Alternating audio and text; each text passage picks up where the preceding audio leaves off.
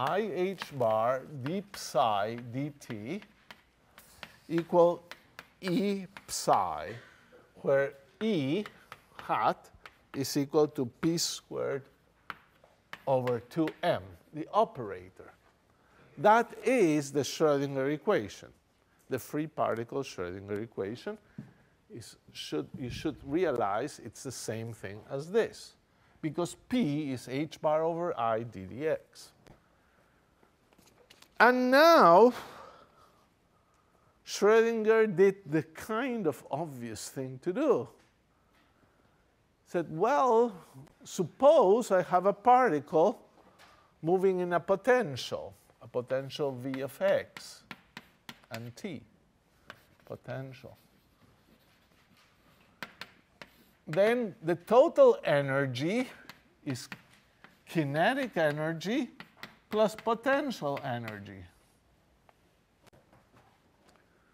So how about if we think of the total energy operator, and here's a guess. We'll put just p squared over 2m, what we had before, that's the kinetic energy of the particle, but now add plus v of x and t. The potential. That is reasonable from your classical intuition. The total energy is the sum of them. But it's going to change uh, the Schrodinger equation quite substantially. Now, most people, in in in, instead of calling this the energy operator, which is a good name, have decided to call this the Hamiltonian. So that's the most popular name for this thing. This is called the Hamiltonian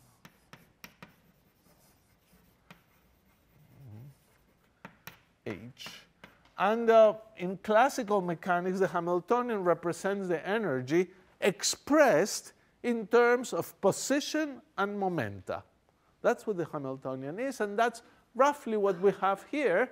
The energy is expressed in terms of momenta and position.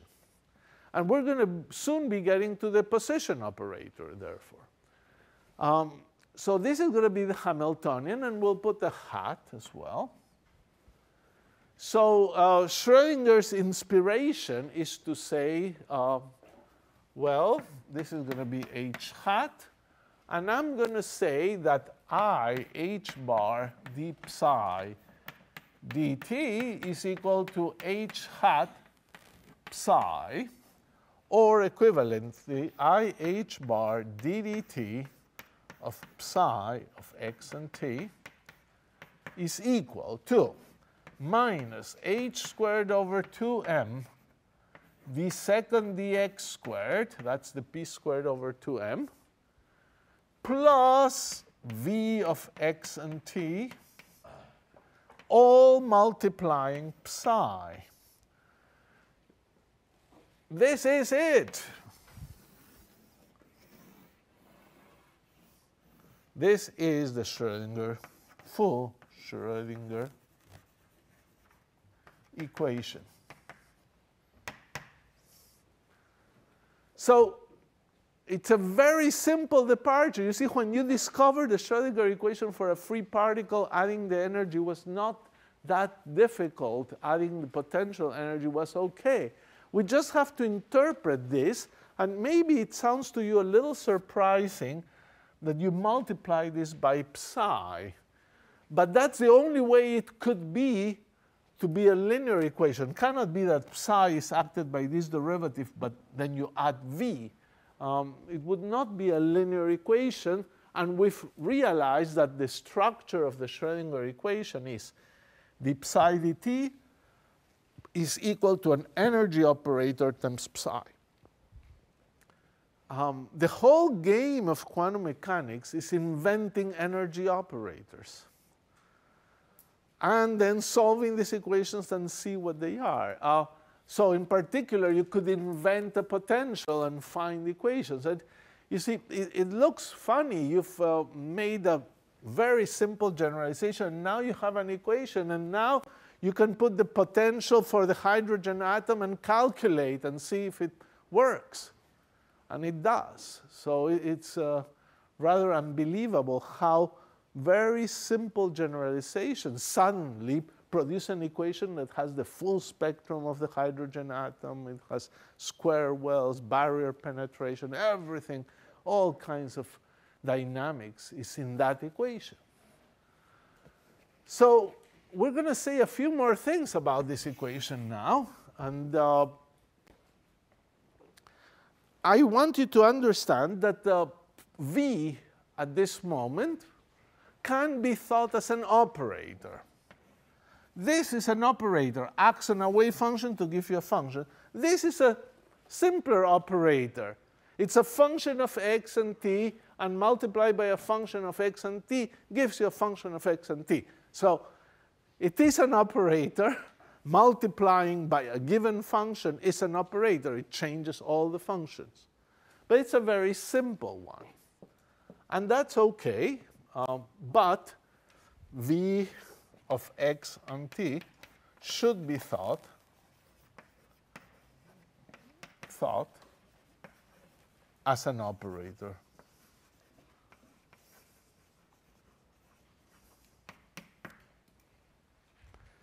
So, uh, in fact, numbers can be an operator.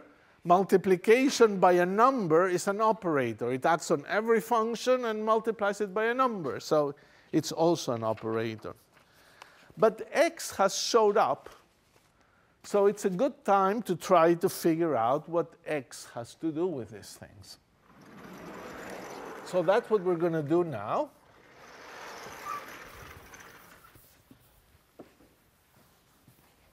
let's see what's x have to do with things.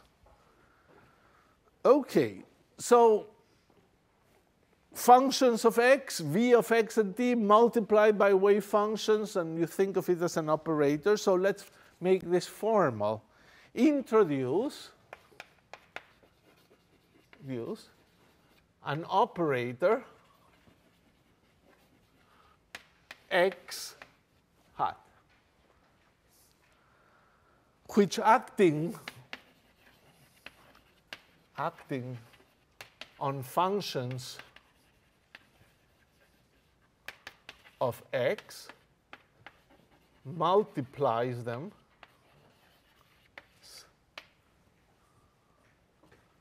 them by x.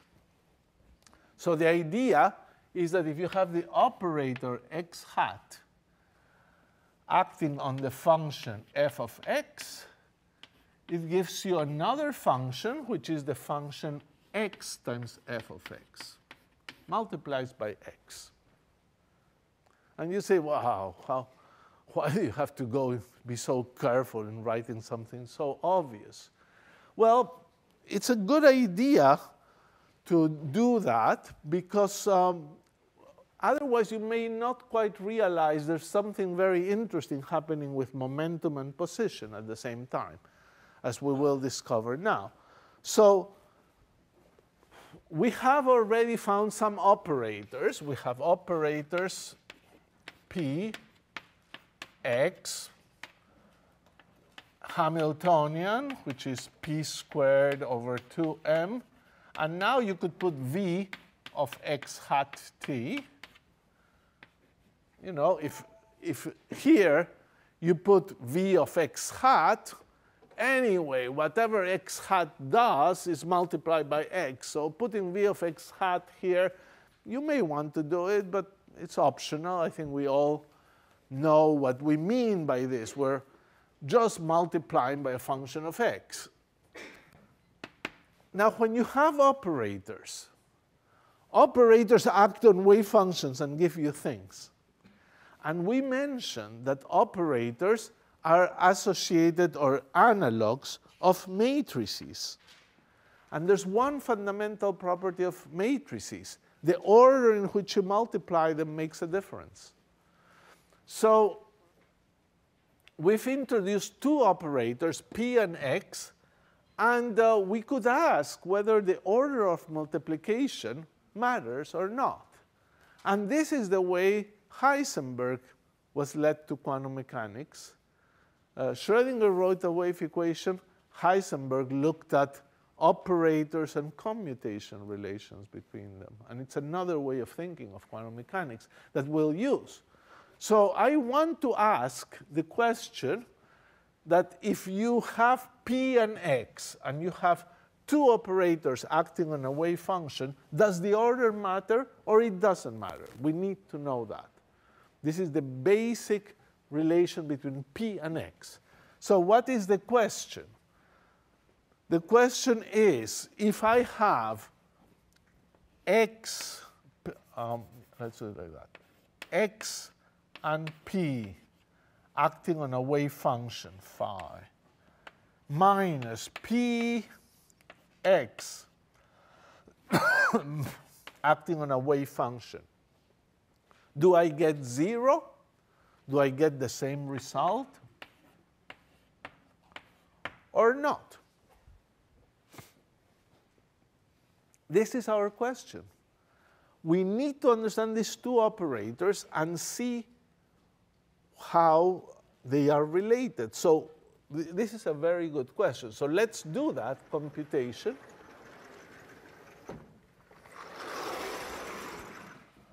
It's again one of those computations that is uh, straightforward, but uh, you have to be careful because at every stage you have to know very well what you're doing. So if you have two operators like A and B acting on a function, the meaning of this is that you have A acting on what B acting on phi gives you.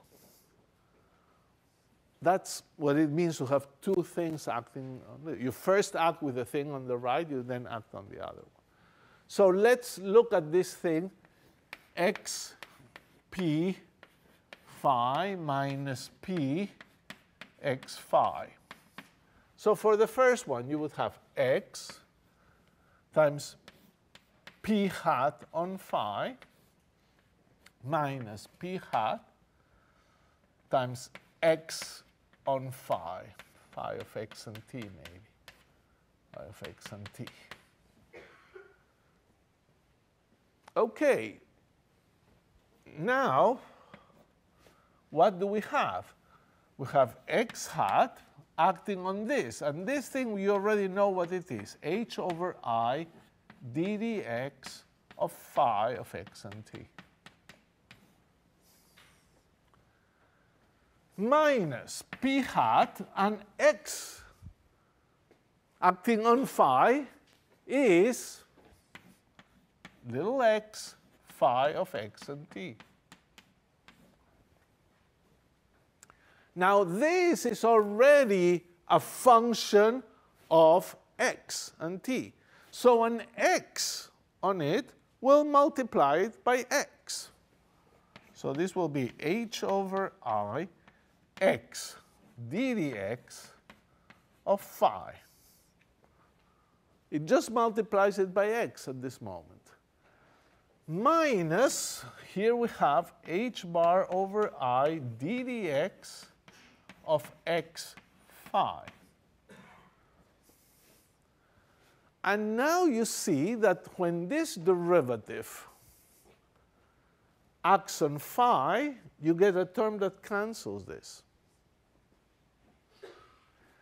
But when it acts on x, it gives you an extra term. d dx of x is minus h over i phi.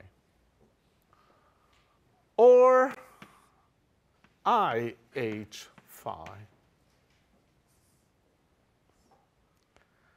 So the derivative acts on x or on phi. When it acts on phi, gives you this term. When it acts on x, gives you the thing that is left over. So actually, let me write this in a more clear way. Uh, if you have an operator, a linear operator, A, plus B acting on a function phi, that's a phi plus b phi. You have linear operators like that. And we have these things here. So this is actually equal to x hat p hat minus p hat x hat on phi.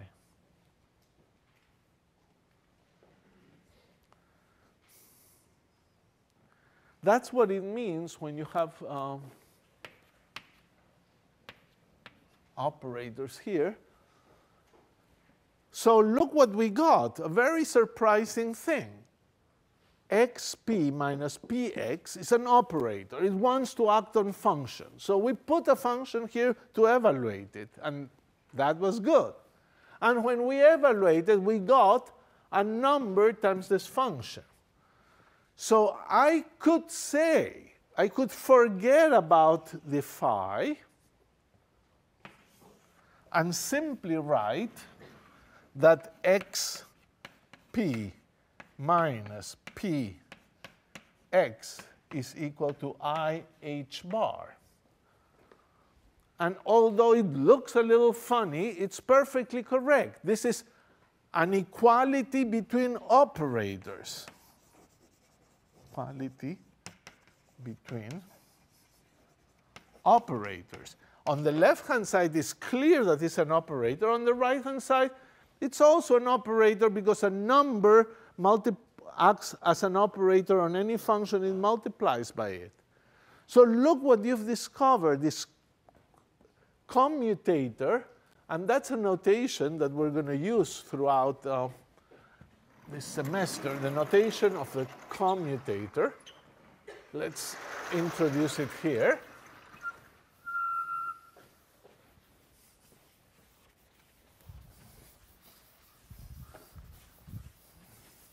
So if you have two operators, linear operators, we define the commutator to be the product in the first direction minus the product in the other direction. This is called the commutator of A and B. So it's an operator, again, but it shows you how they are non-trivial, one with respect to the other. This is the basis eventually of the uncertainty principle. X and P having a commutator of this type leads to the uncertainty principle. So what did we learn? We learned um, this uh, rather famous result that the commutator of x and p in quantum mechanics is i h bar.